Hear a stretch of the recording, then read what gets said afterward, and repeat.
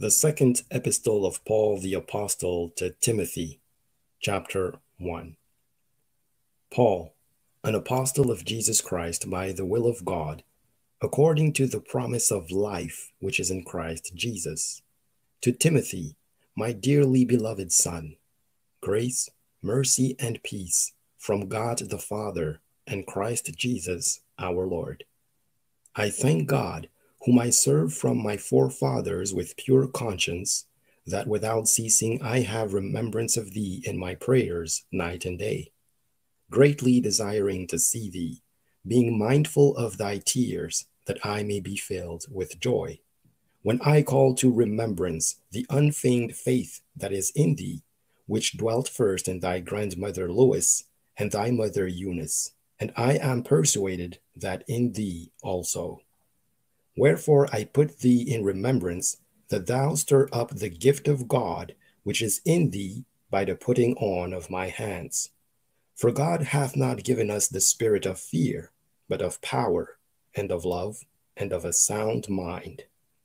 Be not thou therefore ashamed of the testimony of our Lord, nor of me his prisoner, but be thou partaker of the afflictions of the gospel according to the power of God who hath saved us, and called us with an holy calling, not according to our works, but according to his own purpose and grace, which was given us in Christ Jesus before the world began, but is now made manifest by the appearing of our Savior Jesus Christ, who hath abolished death and hath brought life and immortality to light through the gospel.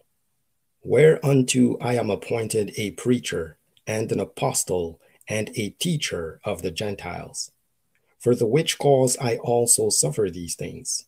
Nevertheless, I am not ashamed, for I know whom I have believed, and am persuaded that he is able to keep that which I have committed unto him against that day.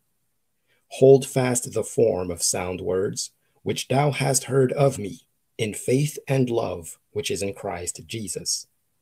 That good thing which was committed unto thee, keep by the Holy Ghost which dwelleth in us.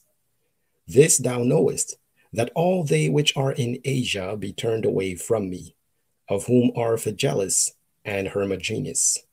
The Lord give mercy unto the house of Onesiphorus, for he oft refreshed me, and was not ashamed of my chain.